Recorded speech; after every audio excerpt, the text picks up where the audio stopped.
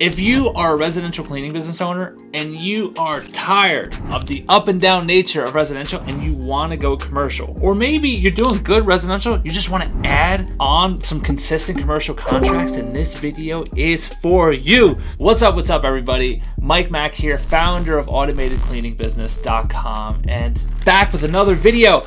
And I'm talking to you, residential cleaning business owner, who is maybe just a little bit intimidated about like, where do I even start? Like, should I even do it? Like, is there a downside to going commercial? You know, listen, if you are thinking that, I don't want this to hold you back any longer. So this video is for you. We're not gonna waste any time.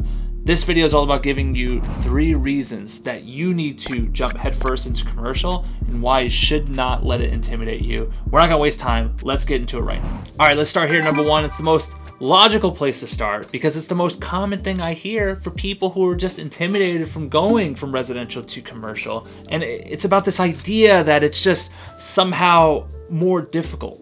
How, how do I do it? What's what's that level of clean like? I'm only cleaning houses, but let me let me put you at ease right now. What you're doing is more personal. And the clean was like really involved and because of that, you got some complaints and you're like, ah, it's just commercial, it's just a headache. No, no, no, let me tell you something. Deep cleans, post-construction cleans, those are their own thing. What I'm talking about is general office cleaning of, let's say, a doctor's office. It is so much less involved depending on the price of the contract for what you're going to be responsible for there versus at a house. So, just to give you like a direct comparison, let's compare a house that you would typically clean versus a doctor's office. So in a doctor's office, you may go in there and you're going to be doing the trash. You're going to do the restrooms. You're going to clean reception. You're going to clean, you know, uh, monitors, wipe the back of like computer monitors, wipe the printer screen down. You're going to do some dusting, look for cobwebs. You know, that's going to be your general area. Then maybe there's a kitchenette in the background, and you're going to, you know, you're going to clean off like the, the, the sink and maybe some fingerprints on the refrigerator. You're going to check the garbage, and that's it. Going to do all those things. Then you hit the floors, and then you get out of there.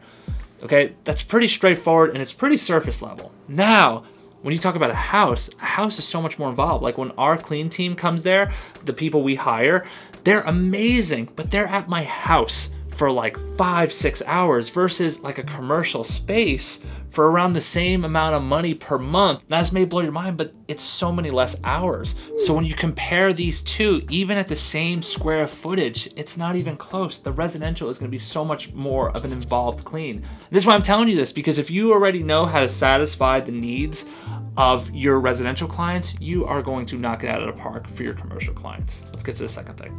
Okay, the second myth I hear when I talk to residential cleaning business owners that want to go commercial is it's harder to hire. Now, that is flat out baloney, homie. If anything, not only is it untrue, it's the actual opposite. The reason why I say it's the opposite is because residential cleaning is done during the day. Commercial cleaning is done during the night, so second shift, residential first shift. Typically, you're cleaning houses when people go to work, right? I know there are exceptions, but by and large, that's generally how that's done. For a commercial, you're typically not starting until they leave.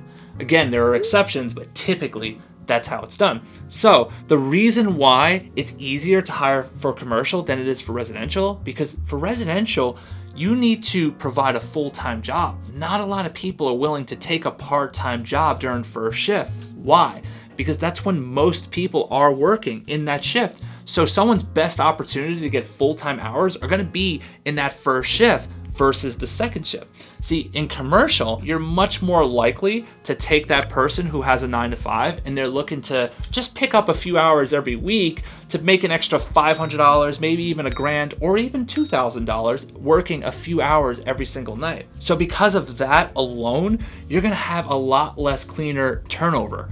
So you're not gonna have to worry about constantly looking for new cleaners because it just makes sense. When you find good people with stable jobs who are just looking for extra hours, put them on your commercial cleaning accounts at like 5 p.m. after work or 7 p.m. after work. It's just an easy, easy transition. And these types of folks tend to stay with you for a really long time. So if you're a residential cleaning business owner and you're like, yo, what, what is he talking about? I'm actually, I'm doing, I'm doing well. And it's like, yeah, absolutely. I'm talking about scale. More than anything, this will be a scaling issue because you're gonna have to stack a lot of houses. You're gonna have to get a lot of cleaners to do tons of houses to try to match what you can do with a simple commercial cleaning business. So, guys, this is why this channel exists because I want to demystify this whole jump to commercial thing. Commercial is much more straightforward and much more simple. Again, I've personally never owned a residential cleaning business, but I have done a few jobs in the early days of my cleaning company because we were just trying to just trying to get some money up and I really didn't have my systems like squared away yet. So, you know, just taking a few residential cleaning jobs made me want to quit my business. So, hats off to you if you are running a successful house cleaning business. All I'm trying to tell you is it'd be a lot easier on the commercial side if you know what you're doing. All right, the last thing I'll say here is, you know, when you do apples to apples comparison, there's nothing wrong with residential cleaning businesses at all. And, and I'm, not, I'm not I'm not like at all saying it's a bad business, you shouldn't do it. No. I just always look at residential cleaning businesses as the type of business that is great for cash right now but it's just something that you're never to stop feeling like you're hustling with.